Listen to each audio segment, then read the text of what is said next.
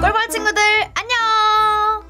오늘도 어김없이 졸린 눈을 비비며 큐티아니 앞에 앉아있는 친구들 환영합니다! 우리 말씀 속으로 들어가 볼까요?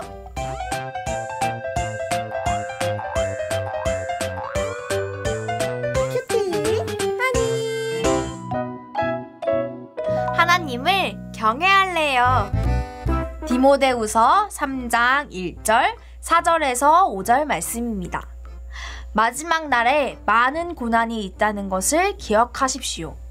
가까운 친구를 배반하고 성급하게 행동하며 교만하고 쾌락을 즐기며 하나님을 사랑하지 않고 겉으로는 하나님을 섬기는 채 하나 실제로는 하나님을 경외하지 않을 것입니다.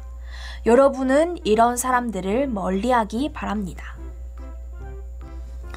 바울은 마지막 날에 그리스도인에게 더 많은 고난이 있을 것이라고 말하고 있어요.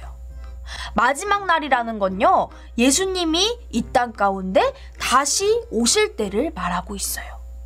예수님이 이 땅 가운데 다시 오실 날이 더 가까워질수록 그리스도인에게 더 많은 고난이 생긴대요.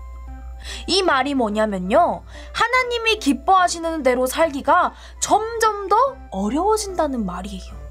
유혹들이 점점 많아진다는 거예요. 사람들은 점점 가까운 친구여도 배신하고요. 더 교만해지고 많은 사람, 다른 사람들보다 자신의 즐거움을 더 많이 생각하게 된대요. 아, 뭐 괜찮아. 나만 즐거우면 됐지. 다른 사람의 슬픔 따윈 필요 없어. 그리고 하나님을 열심히 주여! 주여! 열심히 섬기는 척 하면서 속으로는 하나님을 사랑하지 않는 사람들이 많아진대요. 여러분, 우리는 분별해야 해요.